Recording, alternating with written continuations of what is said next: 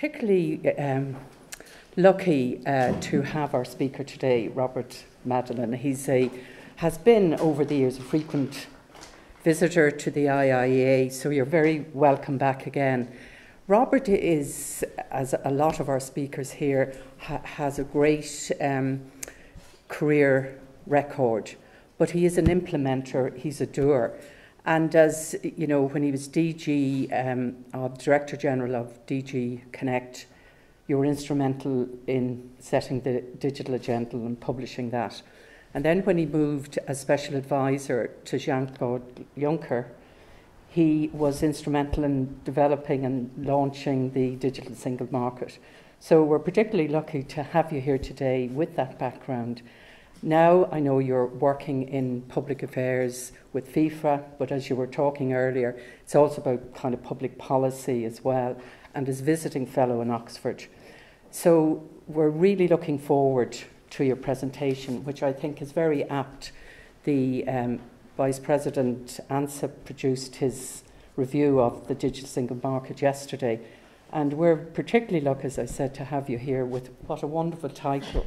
Digital Single Market Act 2, data, robots, platforms, and Brexit. Yes. Gentlemen and Joyce, it is indeed a big pleasure to be invited back.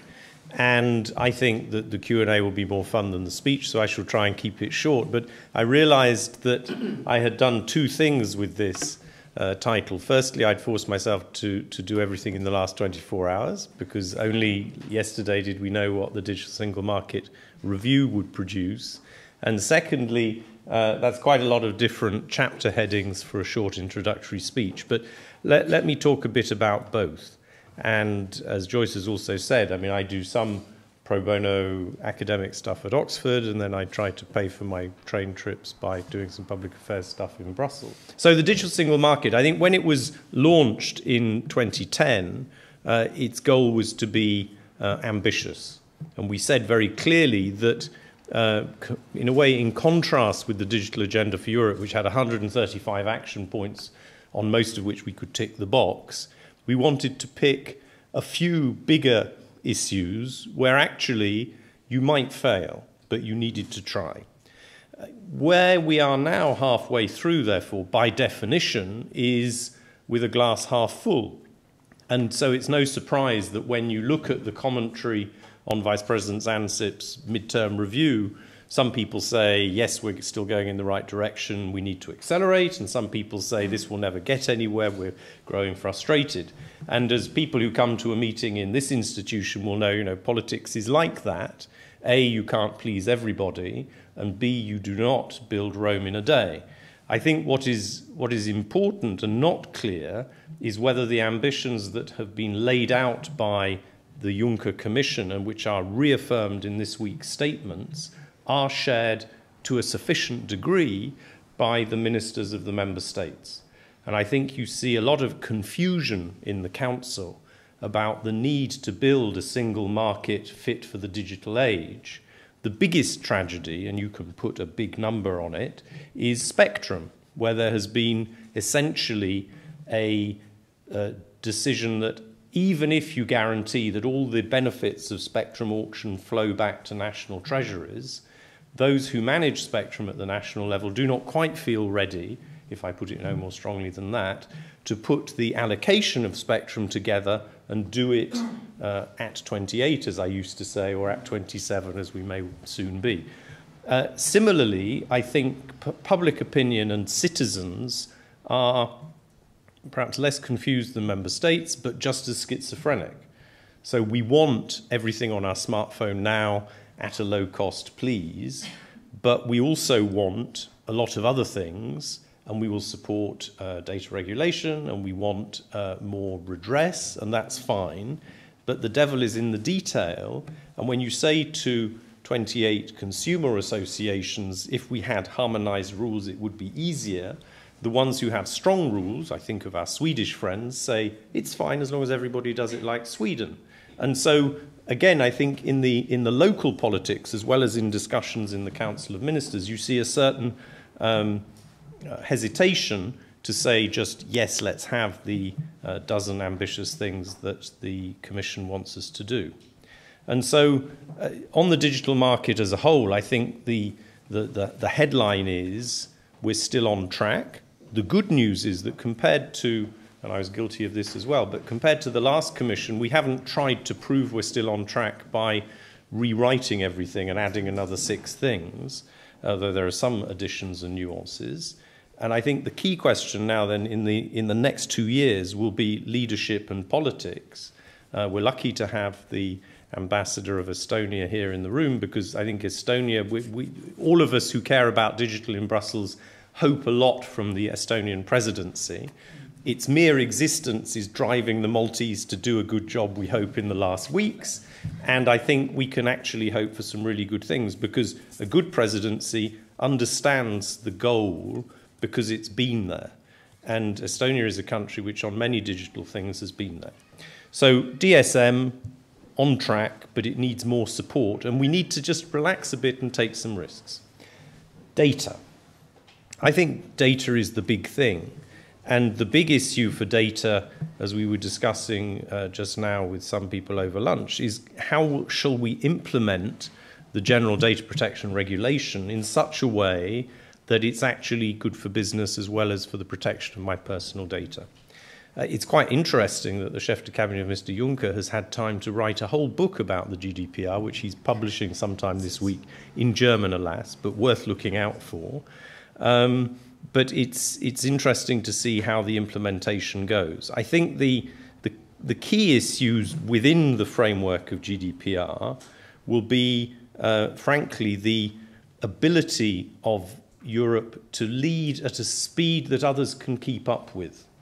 GDPR as a framework is probably the most thought through framework we have in the world, not the first time. But can we implement it in a way that is challenging but feasible for others? And when I say others, I think of the US Privacy Shield. I think of my own British compatriots as they step out of the European Union um, and investigatory powers, as well as what it says in uh, UK law about protecting personal data. And I thirdly, I think about cybersecurity because it's one thing to have on paper good uh, legal assurance of personal data. Most of the breaches of personal data, as opposed to the abuse of personal data, take place through hacking. And just a personal anecdote when I joined the Health DG in 2004 with David Byrne, you arrive, we have pandemics, you know, birds falling out of the sky, uh, and we weren't ready. Health security was poor. Now we're in a much better place. And then I moved to digital, arrive in 2010. I said, wait a minute, viruses, um, threats, we're not ready. It's the same. And I, I think that we're getting better. I think that there is now legislation on the statute book uh, coordinating national cybersecurity plans, coordinating national response mechanisms, so beginning to mirror what we did for uh, pandemic preparedness. But we're still not quite there. And there's a very good, almost more interesting read out of the European Political Strategy Centre yesterday on a new cybersecurity strategy. And there I think we have to work pretty hard as well. The uh, the, the third point I wanted to make about, uh, about data is data localization. So, in a way, GDPR is aiming to solve data localization by making data so well protected everywhere that nobody wants to localize it. In practice, and we learn this through uh, just being human, we like local, we can trust it, we want to touch it. And so I don't think that any particular piece of law, however perfect, will overcome the tendency of governments at all levels to say, I want to keep my data not just private, but next to me. And, you know, Arkansas famously has data localization requirements, even though President Clinton was a great advocate of an open internet. So, with the Internet of Things, the cost of data localization, the opportunity cost to our economies and to our families and to our businesses is going to go on increasing. And how can we fix that? One of the good news pieces, I think, in the digital single market is the Commission saying we're going to try a piece of legislation to strengthen the, not to prohibit data lo localization, I don't think that's what it's saying. Of course, we haven't seen a draft yet, but to, to strengthen the presumption on the free flow of data. And the interesting thing there is that it was a quite late addition to the text. Uh, for a long time, the Commission has been saying we're legislating less, and so we'll study this to death, but we're not going to do anything about it. And now you see a signal which I think reflects the leadership of Vice President Ansip personally that data localization needs a bit of law. And then the final question I'd like to address under data is data, what's it for? Um, it's not just, it, it's not neutral. And a lot of people say data is the new oil, by which they mean it's an asset. We can exploit it and we will be rich. I like to think about data, especially but not only personal data, as the new blood. Certainly, personal data, in my view, is the new blood, not the new oil. In other words, there are ethical questions about it. If by giving my whole genome to a university research department and they put it on a big computer, if by making that gift I can actually help them to save lives, is it ethical that I have the right to refuse? So it's my data, it's like my kidney, I have the right to refuse. In, in the UK, at least, I can opt in to organ donation. I can voluntarily give blood, neither for money. In Spain, kidney donation, I have to opt out. By default, my kidney is available if I run into a brick wall to help somebody else. I think we should try to think about personal data up at that level because certainly in the health space and also in other broader sort of data for good contexts, if you believe uh, that data analytics can drive better things for society, then somewhere we need to think about the opportunities and the benefits and then the duty to contribute. So, what stands between us and this sort of ethically positive vision of data? It's trust and control. And there's just one interesting data point there, or example, that I would encourage you to have a look at or remember that you heard about it here. Takeda, as a pharmaceutical company, has built a bit of software that enables individual patients to share their own data about their course of treatment, their experiences, and to pool it. And why is it taking off? Because the next thing Takeda did was to give it to the patient organization in a particular disease space and say, you run it. We don't want to run it, you run it. So you be responsible for the aggregation of data and decisions about its future strategic deployment. So once you've got a nice big anonymized data set, you patients decide what to do with it. And that, in a way, that's again the gift relationship, just like data is the new blood. Maybe giving away control will turn out to be one way in which more data is available because individuals think that they are more in control. So I think data is the most exciting aspect, perhaps, of all of this because it's the most different, uh, more different than robots. But robots are interesting as well. Um, we care about robots because we think of them as anthropomorphic. You know, we immediately, you know, if I said to you, draw a robot, we'd all draw a, uh, a humanoid robot. Uh, robots, of course, are not uh, all anthropomorphic. They are autonomous and intelligent. Um, and the ones that will come after the jobs of the doctors and lawyers, or are coming after the jobs of the doctors and lawyers, and maybe even the public affairs and analysts and economic affairs thinkers, are not humanoid, but they're very clever. So, what do we do about this? I personally think, and this is not very explicit in DSM, it's a longer, uh, deeper study. I personally think that we have to, firstly, assume that the future really is going to come upon us quickly and secondly, to decide what future we want. So the first point was very well addressed in at least the annex to Professor Schwab's 2016 Davos Forum book on the Fourth Industrial Revolution. And the annex was entitled Deep Shift, meaning you have to embrace the deep shift or you end up somewhere which sounds similar. And the, the, the, the, deep shift was basically saying here are 25 things which are going to change much quicker than you think. And it was sort of comparing popular opinion as to how quickly will we have the first autonomous car, the first personless bank, and what the experts are actually planning should happen. Uh, and I think that that's the first paradox. Usually we pretend that things that worry us are a long way away. And I think to get society ready for change, you have to pretend that it's happening now. So that needs leadership. You have to create a safe space to play futures, to play scenarios, and to think about it. The, second thing about robots, I think, is like any other aspect of technology, uh, take charge of your own future. So the, the way our future will look, whether this is in Ireland or Brussels or the world, is not going to be determined by technology. It will be determined by the interaction of technologies with us as society. So let's concentrate on us because we know who we are and work out what we want. So in the debate about robots will take our jobs, or even yeah, in that debate, instead of worrying about how probable that is, what is it we want our jobs for? What we want is decent work for decent remuneration. There's, there's a longer story, but think about those things. And instead of saying the robots will take our jobs or the gig economy will take our jobs, think about how blockchain enabled smart contracts can uh, make individual gig economy workers and individual robots work together in a, according to a contract which is agreed, as contracts are, but also perhaps subject to legal framing with minimum clauses and prohibited clauses. And the nice thing about that is not only can that make the robot pay tax if you want to, but it can make sure that the Uber driver pays tax too and contributes to social security and so on.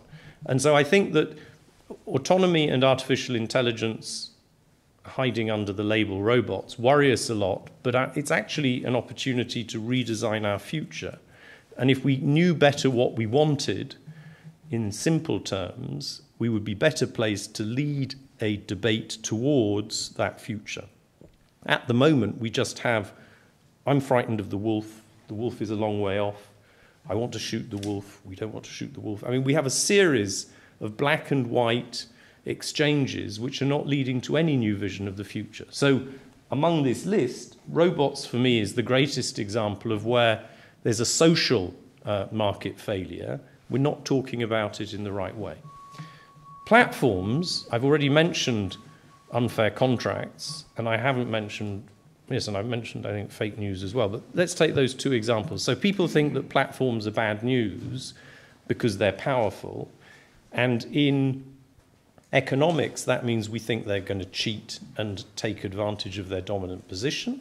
And in social policy, we think it means they're going to flood the world with child pornography, fake news, and hate. On the first piece, uh, again, the DSM is saying, yeah, the Commission's going to edge towards action. So we're going to have a, in the B2B space or in the P2B space, platform to business space, we're going to have an, an investigation which will, I think, lead to sort of guidelines that people had better follow, otherwise, the competition authorities come after them on transparency, what is fair dealing, what are prohibited unfair contract terms, what dispute resolution uh, shall we make available. I think that's good news. That actually proves that uh, the competition authorities remain relevant in the digital age. Uh, on the fake news side, um, Vice President Ansip's best soundbite in his press conference yesterday was yeah, fake news is bad, but trust me, the Ministry of Truth is worse. And what that means is the Commission is not going to follow the sort of Gadarene rush which we see in Berlin towards uh, immediate legislation to prohibit something that we'll call fake news or hate speech.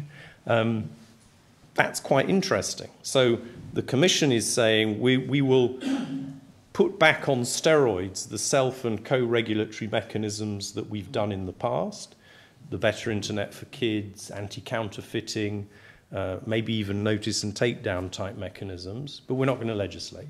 Germany is in a different space, and France will, by the end of the legislative elections, have a new government. So I think that's a piece which is extremely interesting, and where actually I think what we're doing makes more sense. So the platform thing worries people. We have a much more sustained and operational debate about what can public authorities do. There are things public authorities are going to do, the competition stuff. They're not going to do the knee-jerk legislation. I think that's in a good place, much better place than you'd have guessed two years ago. Now, finally, I said I would talk about Brexit. Mm, Mr. Barnier has probably stolen all the best lines in this town today. But let me give you in five, six points what I think. Firstly, as a trade negotiator, you read Mrs. May's Lancaster House speech, you read Mr. Barnier's negotiating mandate, it's all perfectly doable. Now, that, that's a very dangerous position because it's very rational, but it is important to know that, that, there are no gaping holes between the different positions. Where there are gaping holes, this would be my second point, is the tone. We have uneven, unstable, dangerous movement of tone from confidence to uh, introversion to uh, fear would be my um, triangle. Uh, what we need is a clear statement that the goal of the Brexit negotiation is to maximize the mutual benefit of the parties. Mutual benefit is the key word in every piece of post war trade law, and we don't yet see it. In the Barnier mandate, you have the goal as a balance of rights and obligations. So that might lead to mutual benefit, but it might be a zero sum game.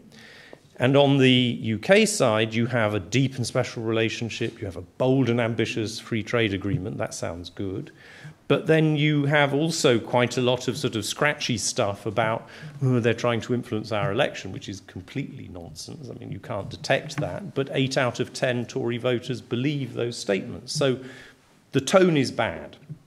I think that the uh, variability of tone is a material risk for any company beyond the corner shop. And I observe that most companies' boards have they get reports about Brexit, but they haven't thought about the material risk seriously yet, usually saying it's too early to tell. A stellar exception that I'll mention is Fiona Dawson uh, of Mars, who made a great speech in March in Brussels saying, We need mutual benefit. So she's my poster child for corporate engagement there. Um, so that's, that's where I think we are.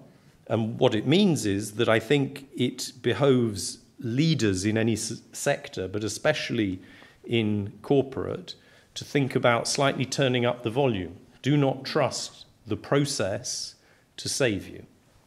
And it's not enough to brief officials in private. Um, the, my second sort of cluster of points is the media won't help, so don't believe anything you read or most of what you read. Um, there will be an explosion. The thing that people will fight about most visibly are the things you can count people and money. So, how many people, how many euros? Of those two, I think it's easier to fix money than it is to fix people. Because when you take apart these big numbers, 100 billion or whatever you think the number is, it's composed of a lot of different components, some of which are small amounts of money for decades, some of which are slightly larger amounts of money for manageable periods of time, some of which are significant amounts of money that the UK wants to go on contributing, like on research and development. So I think money is fixable. People is a huge problem because the, the moderates say, of course, we'll deal with high skills and intercorporate transferees. They don't say, and their families, and they don't recognize that uh, you know, the hotel that I was at in Scotland over the weekend with my family will not function this year unless they get some East European short-term trainees coming in. Every year they've had two to one applications. This year they don't have enough applications. Not because there's any new prohibition, but people aren't sure that Scotland's a friendly place anymore.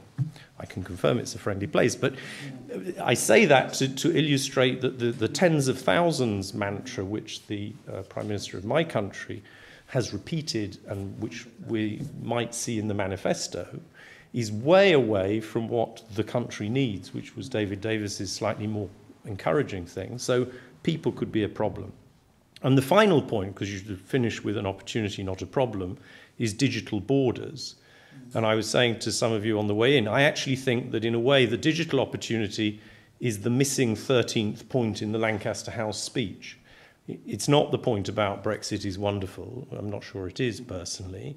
But new technologies and innovation can help us to achieve that mutual benefit and a smooth transition and a low friction future if we choose to take those opportunities. And I think that's true for the land border in this island, for people and for goods. I think it's true across the channel as well. And you know, there are little sort of green shoots of reflection on that, but it's just an illustration that even if you didn't want history to go in this direction, it's not just a question of making the best of, it's also an opportunity for out of the box thinking.